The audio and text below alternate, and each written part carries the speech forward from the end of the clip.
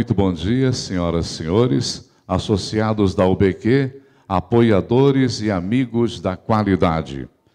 A União Brasileira para a Qualidade sente-se honrada com a presença de todos e agradece aos patrocinadores e apoiadores, aos associados da UBQ, representantes de empresas, autoridades, funcionários e voluntários, enfim, a todos que contribuíram para a realização do Grande Encontro 2013. Hoje estamos dando início ao eixo Líderes de Alta Performance, com os eventos 22º Congresso Brasileiro da Qualidade e Produtividade e também o 6 Congresso Nacional pela Excelência, CONEX. Neste ano, o grande encontro reuniu cinco grandes eventos que se iniciaram no dia 2 de setembro com o eixo Equipes de Alta Performance, apresentando casos práticos de sucesso de Lean, melhoria contínua e CCQ de diversas organizações de todo o Brasil. O Grande Encontro 2013 conta com o patrocínio da CEMIG, Fiat Chrysler, FAPEMIG, Sistema FIENG, Petrobras, Sebrae, Secretaria de Estado de Turismo de Minas Gerais, Vale e Valorec. A todos os nossos sinceros agradecimentos. Senhoras e senhores, convidamos para o pronunciamento de abertura deste evento a presidente da União Brasileira para a Qualidade de Minas Gerais, UBQ-MG, senhora Silvana Rizioli.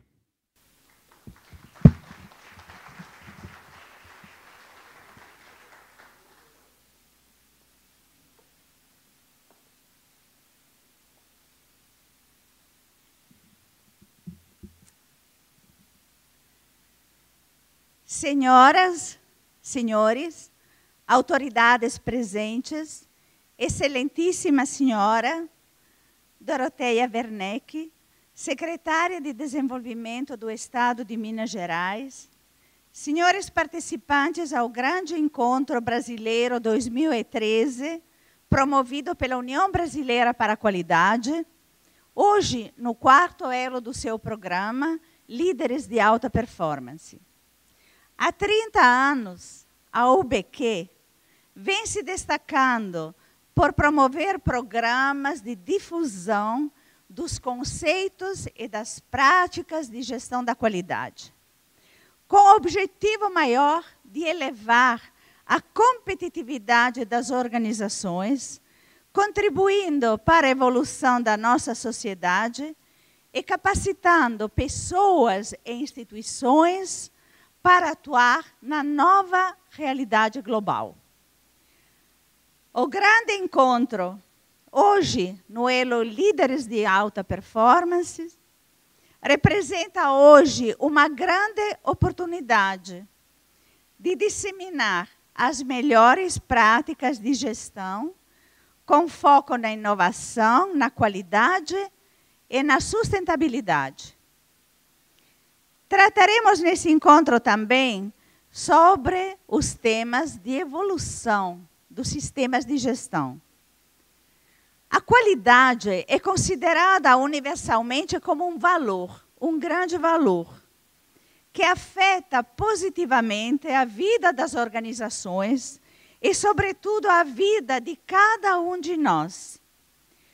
Uma dimensão fundamental é constituída pelo pensamento simples, o pensamento enxuto, o pensamento essencial, que valoriza a simplicidade, a objetividade e tem como meta principal reduzir as perdas e os desperdícios através do exercício, do aprofundamento metodológico, a revisão dos processos e o desenvolvimento das melhores ferramentas de gestão da qualidade para né, como já disse, elevar os níveis de competitividade e de produtividade, com maior eficácia, maior, maior eficiência. Esta é a nova meta que o BQ está nos, que estamos nos propondo cumprir. Ou seja, criar bases sólidas para a inovação, o desenvolvimento sustentável e para enfrentar os desafios né, do, do mundo global. E, sobretudo, investindo na capacitação tecnológica e profissional das empresas, das organizações, dos indivíduos, através da busca de novos conhecimentos e a troca de experiências. Estamos caminhando, como já disse, para uma nova cultura da qualidade. Investir no pensamento simples, nas práticas enxuta, significa investir na maioria dos processos, no aprendizado e novas metodologias e novas ferramentas, na busca pela qualidade, sobretudo em toda a cadeia de valor. Com isto, estaremos criando as condições para que os nossos produtos e os nossos serviços continuem sendo competitivos em nível nacional e internacional. Este é um círculo de contínua eficácia, eficiência, de busca pela excelência, que nos propicia um crescimento sustentado capaz de se perpetuar em benefício de todos aqueles que interagem com o sistema Brasil.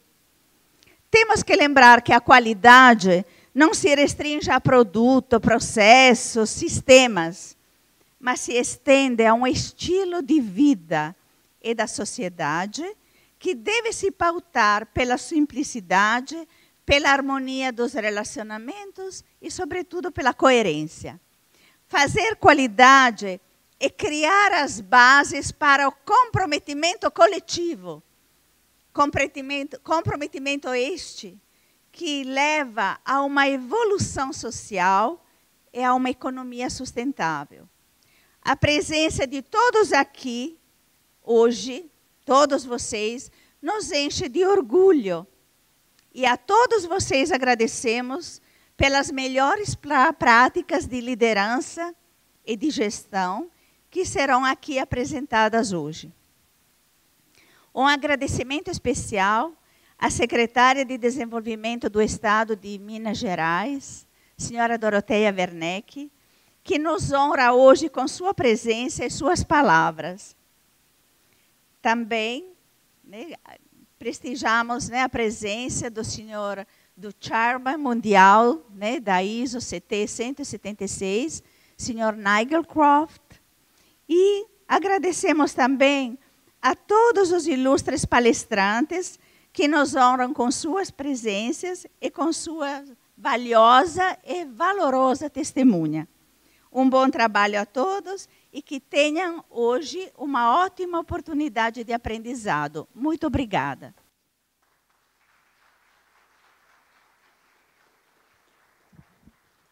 Muitíssimo obrigado a senhora Silvana Risioli. Senhoras e senhores, para a palestra magna de abertura deste evento, temos a honra de convidar a excelentíssima senhora secretária de Estado de Desenvolvimento Econômico de Minas Gerais, Doroteia Werneck, que abordará o tema Lideranças de Alta Performance e o Impacto no Desenvolvimento Nacional. Doroteia é secretária de Estado de Desenvolvimento Econômico de Minas Gerais, economista com mestrado e curso de doutorado em Boston College, USA, ministra da Indústria do Comércio e do Turismo, governo Fernando Henrique, 95 e 96, e ministra do Trabalho, governo José Sarney, 89 e 90. Senhoras e senhores, Doroteia Werneck. Posso ficar em pé aqui? Bom, bom dia a todos, obrigado pelo convite. É um prazer estar aqui. E do currículo vocês falaram, vocês não contaram a parte mais importante, uma apaixonada pela qualidade. Né, eu tive a oportunidade de. Né, estava lá no nosso governo em 91, 92, na, no PBQP, e na época a secretária nacional de economia, nós éramos a secretaria executiva do programa. E foi um dos momentos mais ricos da minha experiência profissional. E só para colocar isso no tempo e nos trazer para 2013, era muito interessante porque o conceito né, de qualidade e produtividade, que era a dobradinha mais usada, sequer o conceito era, era de comum, né, era conhecido por todos. Me lembro perfeitamente bem do próprio presidente da Confederação Nacional da Indústria, na época o senador Albano Franco, me ligou, eu lembro da cena, eu em pé na antessala, lá entrando na minha sala, o secretário disse, o senador Albano está no telefone, e ele me perguntou, Doroteia, que história é essa de qualidade e produtividade? Isso devia ser maio de 91. E a grande alegria é que, no final do ano, a Confederação Nacional da Indústria já tinha estruturado seu programa de premiação, de estímulo, de orientação para os empresários, e, em muito pouco tempo, nós tivemos já é, uma série de, de resultados, e o, talvez o principal deles, para compartilhar com vocês, é, que foi quando eu até tive meu primeiro contato com a Fiat, aqui no programa de qualidade da Fiat, que é daquela época, era o Cárceres, né? É, que para as empresas multinacionais, os resultados das subsidiárias brasileiras eram mais rápidos e melhor. Então, nós passamos a ter, nas subsidiárias das empresas multinacionais, passaram a ser o benchmark para o grupo. Isso foi verdade para a Fiat, foi verdade para a Philips, foi verdade para a 3M, quer dizer, seja qualquer que fosse a origem do capital, e isso para a gente dava um enorme orgulho. Ou seja, a capacidade nossa, brasileira, de absorver os conceitos, de introjetar os conceitos, é absolutamente extraordinária. E a nossa interpretação pode ter estudos mais aprofundados, psicológicos, antropológicos, sociológicos, mas é que nós brasileiros às vezes somos criticados que a gente não guarda a nossa história, a gente não, não, não liga para o passado. Eu lembro que, na época, a empresa francesa, o grupo Rony Poulain, usou até esse exemplo. Olha, na, na França é complicadíssimo você mudar valores e culturas, porque lá nós ainda estamos vivendo a Revolução Francesa. Né? Nós, brasileiros, não temos essa coisa arraigada no passado. O que significa, o outro lado da mesma moeda, que nós somos muito abertos para mudanças, muito abertos, voltados para o futuro. Então, esse é um valor que eu entendo, nosso, brasileiro, que tem sido extremamente importante e, neste caso, extremamente útil para este processo de mudança. Então, tivemos a nossa leva, né, década de 90 foi absolutamente extraordinária em termos dessas mudanças, mas nós já estamos chegando na segunda década do século XXI, ainda precisando, até estava comentando isso um pouco para Minas, isso é absolutamente verdade, quase que reforçar os conceitos. Teve muita evolução, teve muitas eh, metodologias adicionais, muita ferramenta nova que passou a ser utilizada, mas em alguns momentos eu fico um pouco com a impressão, espero estar errada, que o conceito básico de para que serve isso, né? Por que foi tão importante um determinado momento no tempo? Né? Entre outras coisas, isso que a própria. É, que foi enfatizada aqui, que é a ideia de que isso é passado para a nossa vida do dia a dia. A vida do dia a dia que começa dentro de uma fábrica, vai para a nossa vizinhança e passa a ser um conceito social de relacionamento. E isso eu acho que nós perdemos muito. Né? Porque o custo é alto, porque a competitividade é fora da empresa, porque o problema é a competitividade do país. Ou seja, jogamos um pouco da nossa da responsabilidade para soluções externas e deixamos de lado aquilo que é da responsabilidade interna das instituições, sejam empresas privadas, sejam empresas públicas, seja governos. Então, essa, essa, eu acho que perdemos um pouco disso e vale a pena né, de começar a enfatizar esse ponto, estamos aqui junto com a FIENG, junto com o IEL, junto com o BQ, IBQM, todas as instituições nossas de qualidade em Minas, já desenhando um trabalho de como é que nós podemos voltar a este assunto. Voltar a incutir ah, por que isso é bom. Isso não é modismo, isso não é uma coisa que era importante na década de 90, na, na última década do, ano, do século passado, na primeira década desse ano. Isso é importante hoje. E isso nos leva ao nosso tema, que é o grande desafio que me foi colocado, é, que é a, pela Silvana, que é exatamente o papel da liderança. Né? O beabá de quem está neste processo sabe, qualquer que seja uma mudança a ser introduzida em qualquer empresa, ela precisa começar de cima para baixo. E não é à toa. O, a, no nosso entendimento, a principal ferramenta, o principal instrumento de mudança se chama exemplo. E o exemplo vem de cima para baixo. Então, se a liderança não é, não está convencida, não adianta. Esse é uma, uma, um desafio, uma verdade que às vezes nos dói, né? E de vez em quando eu vou extrapolar aqui do nosso tema, porque eu acho que a importância do exemplo da liderança ela vai até para a política. Né? Seu exemplo é ruim, ninguém segura. Então, essa, essa responsabilidade da liderança, ela está absolutamente comprovada e é essencial para que a gente possa repensar e refazer e, redesenhar, seja o país, seja a cidade, seja a comunidade, seja a empresa. Então, o, a pergunta que fica é: e, e que, que liderança é essa? É fácil ser líder? É bom ser líder? Não para todo mundo. É complicado ser líder. É complicado você aceitar a ideia de que as suas ações estão sendo olhadas muito mais do que se fosse simplesmente um funcionário da empresa. Né? Eu uso muita expressão para quem está no serviço público, que é o estar na vitrine.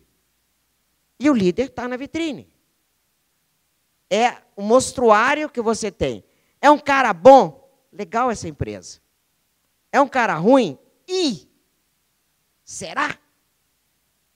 Mais do que isso, qualquer coisa que o líder faz, ela é anotada e é cobrada e é apontada.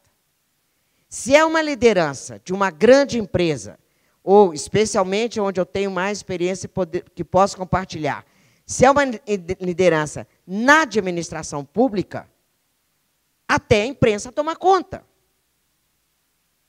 Então, a sua vida, a vida de um líder, volto para a situação, é o mesmo para a empresa. A vida do líder é uma vida que ela é limitada pelo seu lado público.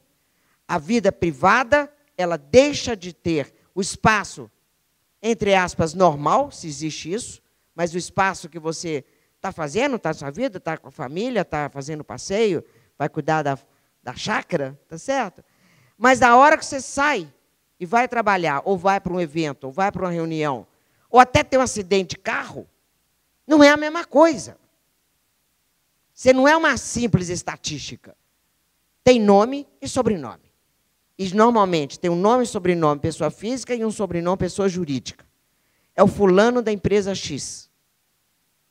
Ou é a secretária Doroteia, a secretária de desenvolvimento. Ou fulano, o ministro. Então a famosa PJ, pessoa jurídica, faz parte da sua identidade. Então, é, do ponto de vista pessoal, sim, um preço que se paga e há que descobrir, então, por que, que tem gente que gosta de ser líder? Uma parte é porque nasceu assim. Eu não quero, não, não vou. Vocês vão ter hoje um dia com vários teóricos e vários especialistas acadêmicos que vão explicar muito melhor o que está por trás disso. Mas tem um lado de nasceu assim. Eu sou de uma família de seis pessoas, cinco não gostaram. Eu gostei. Tem explicação? Não. Educação é a mesma, família é a mesma, é, o estilo é o mesmo. Então, é um pouco do, do jeito que a gente nasce. Isso vem um, somar numa outra discussão que está aí, que é a seguinte: é possível formar líderes? É. É. Tem curso de treinamento, o que fazer, o que não fazer, como se comportar, mas não se forma em nenhum curso o gostar e não gostar. E nós sabemos no nosso dia a dia, no nosso beabá, se você não gosta do que você está fazendo, meu, esquece, vai embora. Então, se você gosta, não, eu gosto, eu gosto de assumir esse tipo de responsabilidade. Eu gosto de ver as coisas acontecerem. Mesmo que o resultado venha daqui a 20 anos, não importa. Eu gosto. Tá bom. Pré-condição dada. Agora, eu sou competente no que eu estou fazendo? Vamos dar um treinamento, quem sabe a gente pode melhorar. Está fazendo muita besteira, evita isso, evita aquilo. Olha que você não está fazendo. Tá bem. Mas a pré-condição é de gostar. E eu acho elogiável, por exemplo, que várias empresas, isso já vem de uns tempos para trás, né, que entenderam que para crescer numa empresa não pode ser um caminho único que é o caminho que vai escalonando para chegar em etapas de liderança cada vez mais de maior responsabilidade. É líder de grupo, é líder na gerência, é líder na diretoria, pode chegar até a presidente. Tem gente que não gosta.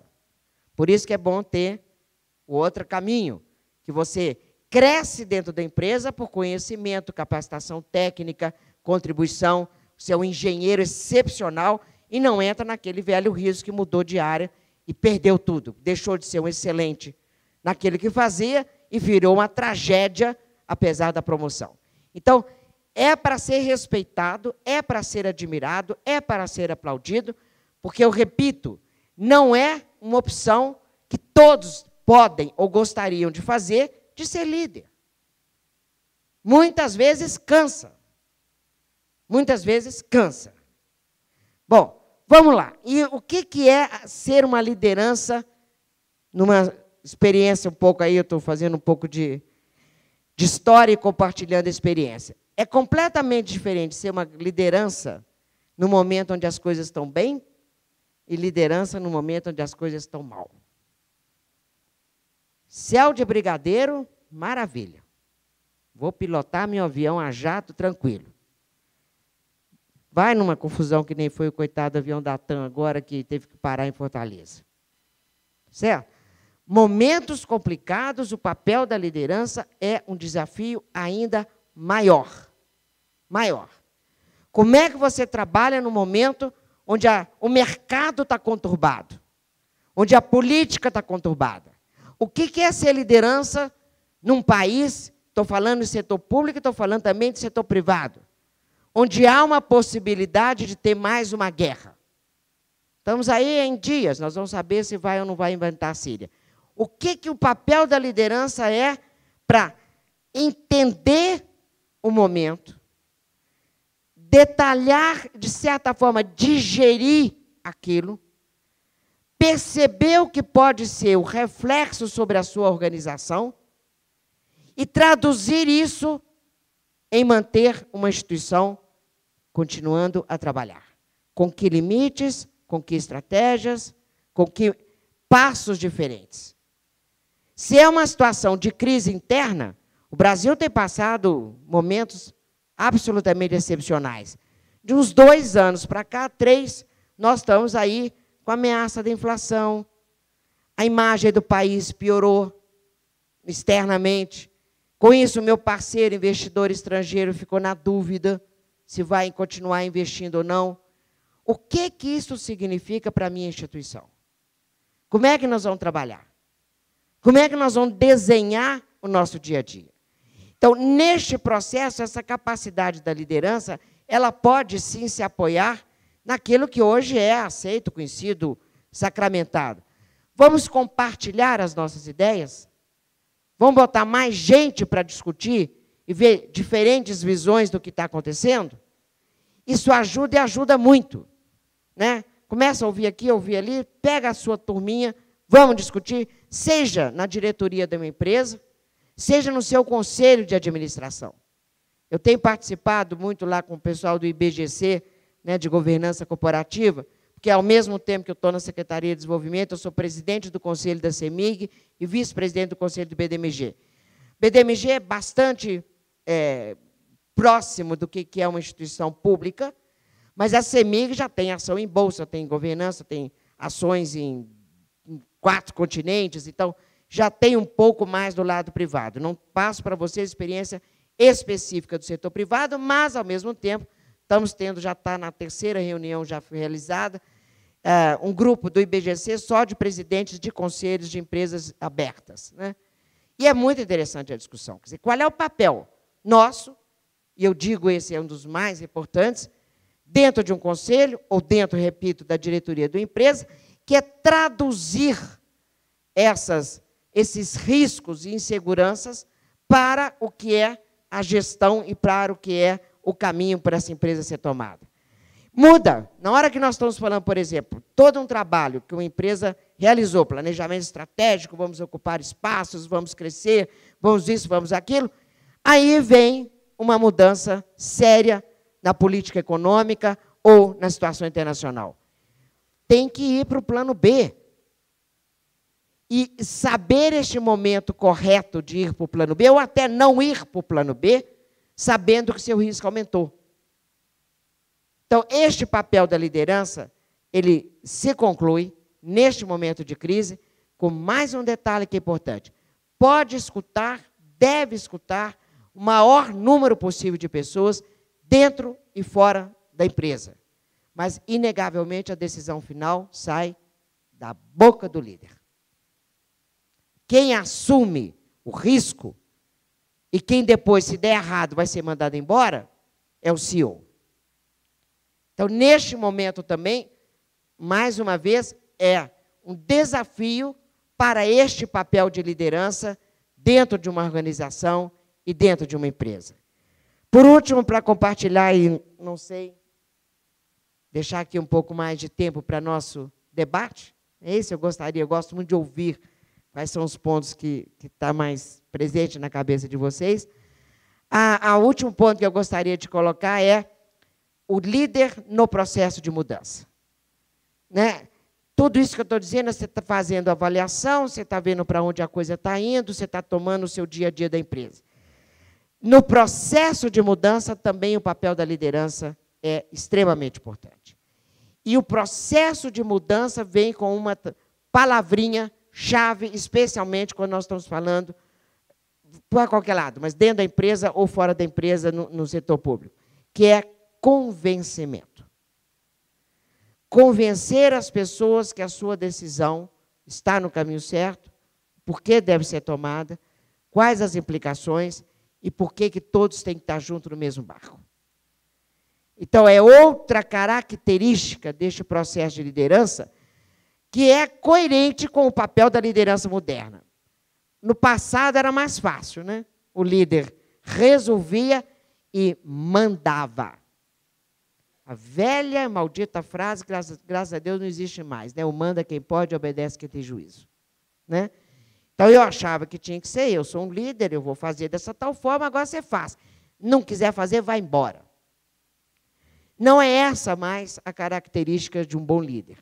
Né? Um líder é aquele que cria as condições adequadas para promover o potencial de todo mundo que trabalha no seu time. E aí você tem que convencer. E tem que ter a humildade de saber que, mesmo você estando convencido, pode ter alguma ponderação, algum argumento, alguma ideia melhor do que a sua. Talvez, falando do nosso tempo recente, qual é a grande mensagem que o Papa Francisco deixou? Não é humildade? E uma palavrinha muito ausente, no, no, muitas vezes, no vocabulário de quem tem o poder. Né? Então, o poder não é o poder de mandar. O poder é o poder de fazer. E o poder de fazer é fazer convencendo as pessoas que isso é a melhor coisa a ser, feita, a ser feita.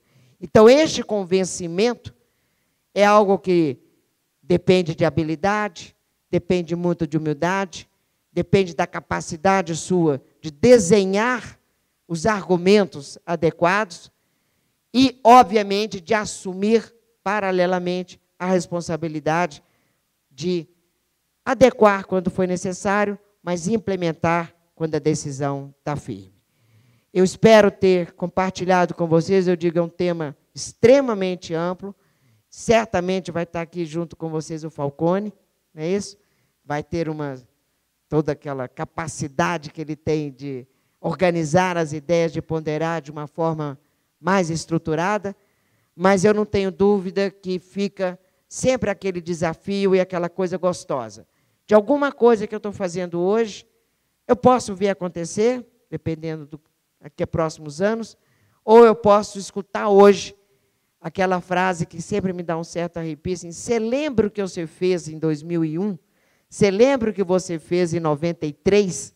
Ou seja, 20 anos depois, nós temos resultados e que muitas vezes é assim mesmo, não são coisas que acontecem, mas tem aquela alegria de fazer parte do processo, de não ser um telespectador da história, mas sempre que possível ser um ator, um produtor e um escritor da história.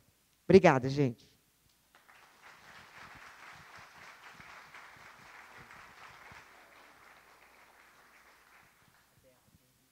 Muito obrigado, secretária Doroteia.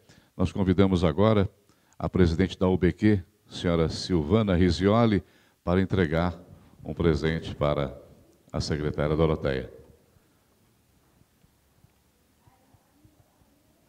Pois não, claro. Duas mulheres apaixonadas pela qualidade.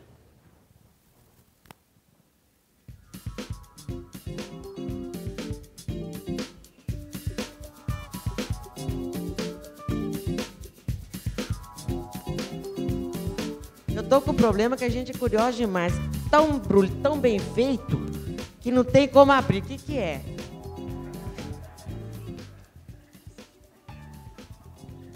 Nu. Agora fiquei mais curiosa ainda. Muito obrigado, Silvana Resioli. Vamos então abrir agora para as perguntas. Fiquem à vontade, por favor.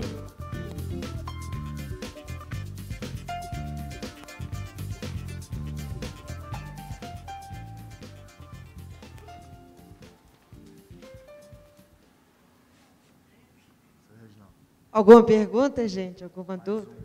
Pois não, Maurício. O microfone está indo aí.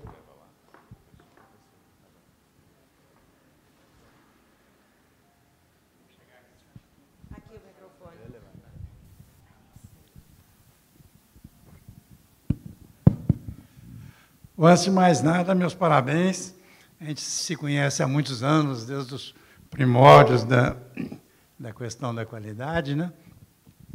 E hoje em dia eu tenho feito muito uma reflexão sobre a qualidade nas empresas, mas também sobre a qualidade na gestão pública como um, um processo mais amplo.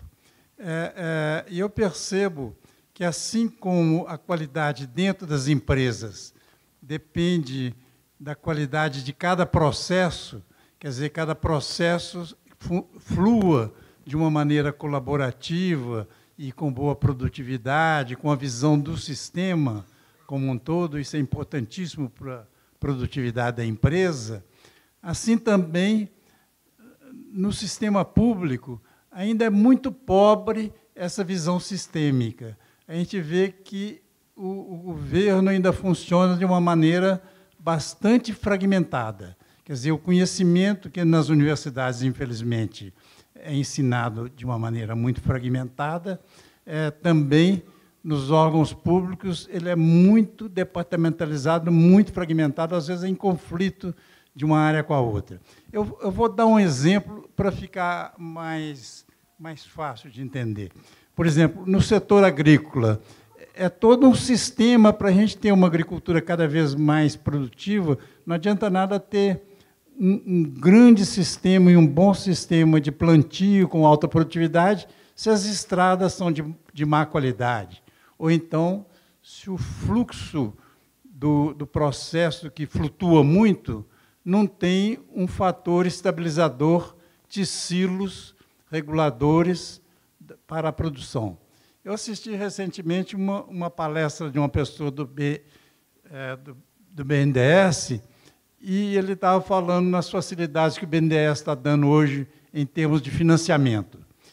E, e eu perguntei assim, mas ele estava falando exatamente sobre o setor agrícola, que tinha bastante é, financiamento para equipamentos, etc.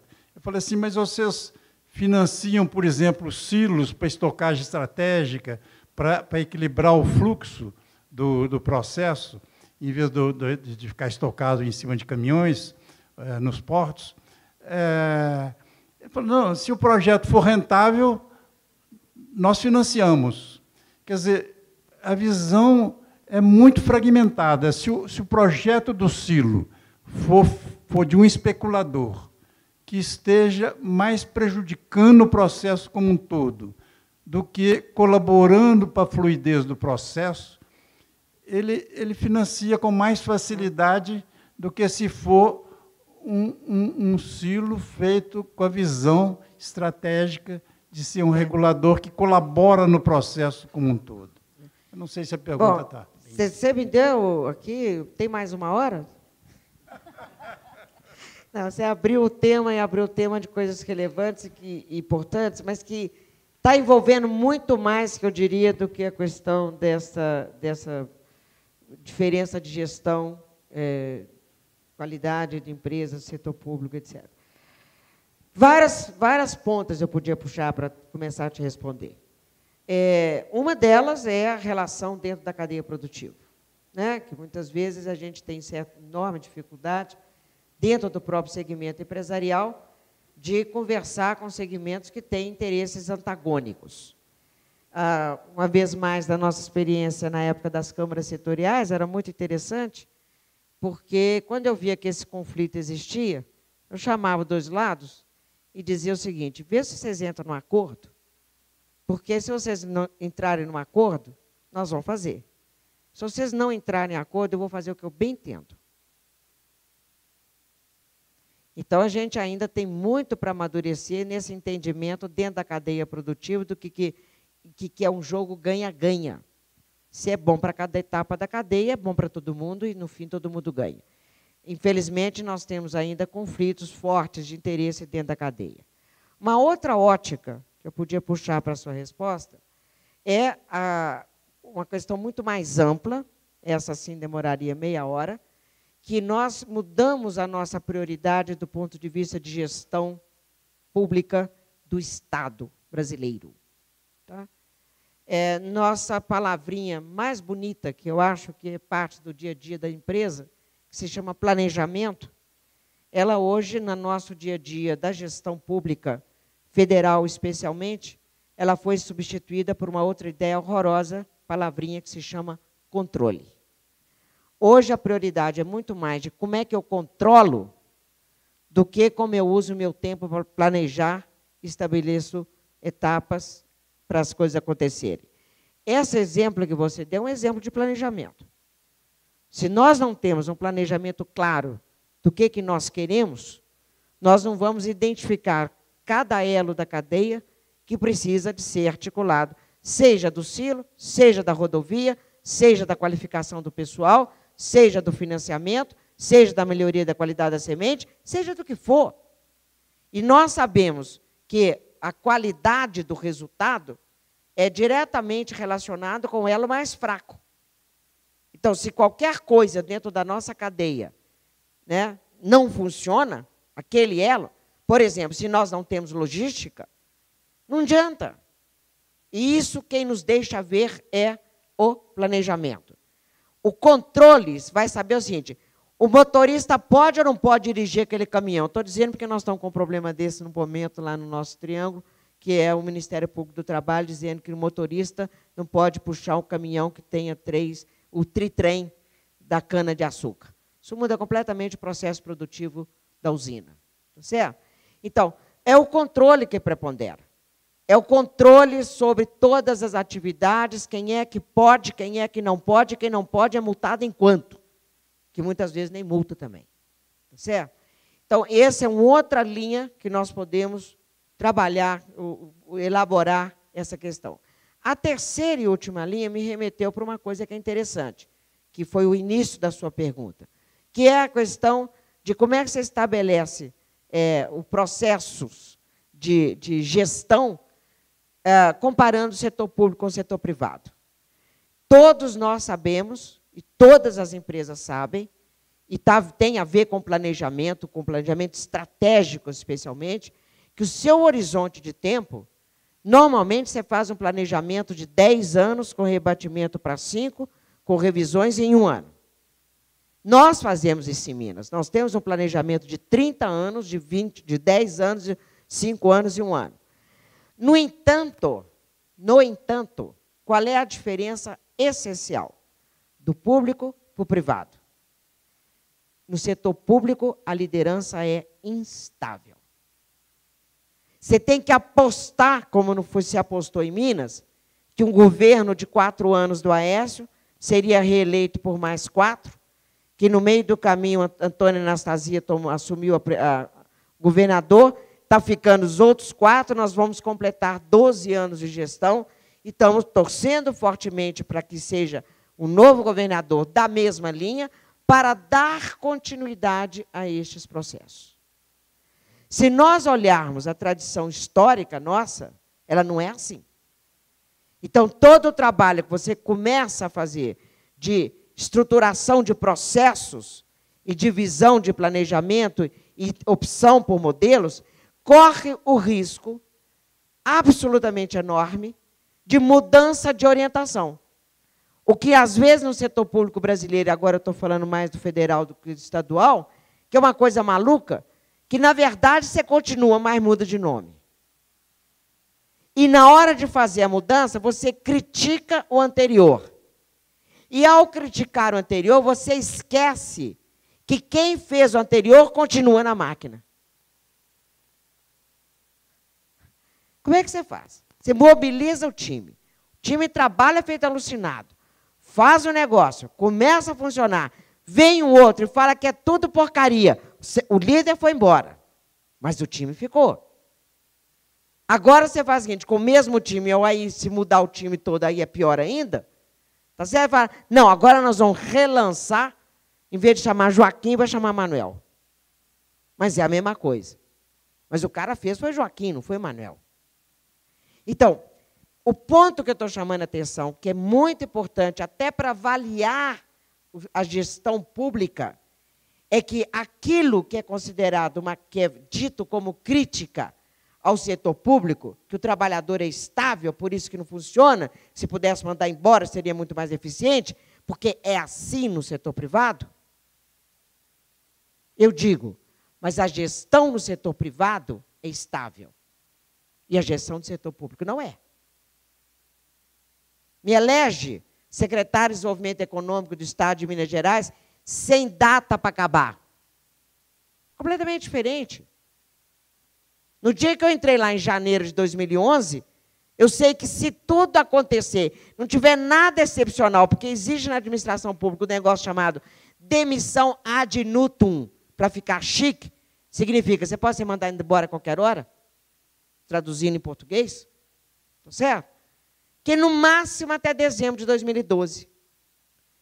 Então, até mesmo para ter essa visão, essa coisa de horizonte, fazer as coisas acontecerem, você precisa de um tempo e a tendência é tratar de fazer rapidinho antes que acabe.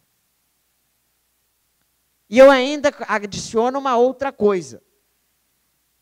Primeiro ano você está tomando pé, segundo ano você faz a gestão, com, é, terceiro, com detalhe que no segundo ano tem eleição de dois em dois anos nesse país, você também não pode fazer muita coisa.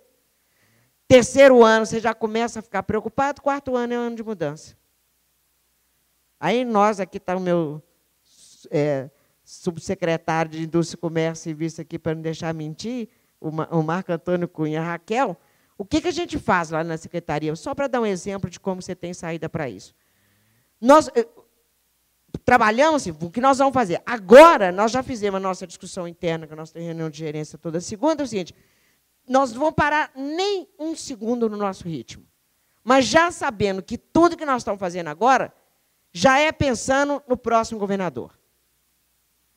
Vamos deixar a casa arrumada, orientada, sugestões, etc. Vamos fazer o que tem que ser feito para que isso tudo aconteça e vamos trabalhar.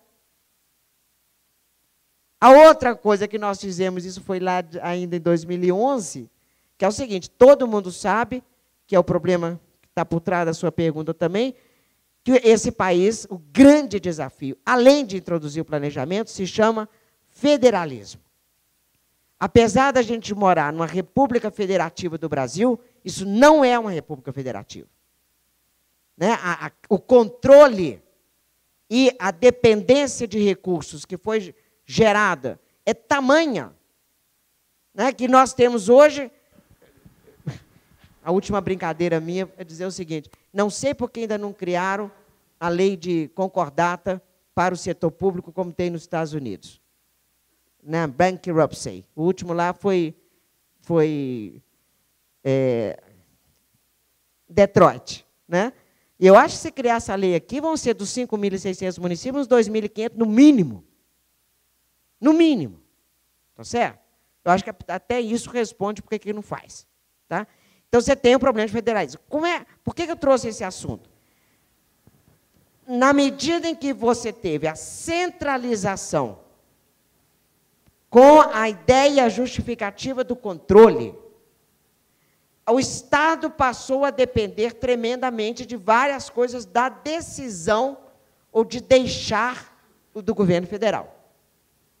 Então, qual é a nossa estratégia de trabalho? É o seguinte, gente, vamos separar tudo que a gente pode fazer que não depende do governo federal. Essa é a prioridade total.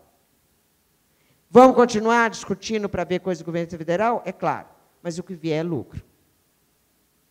O que vier é lucro, repito.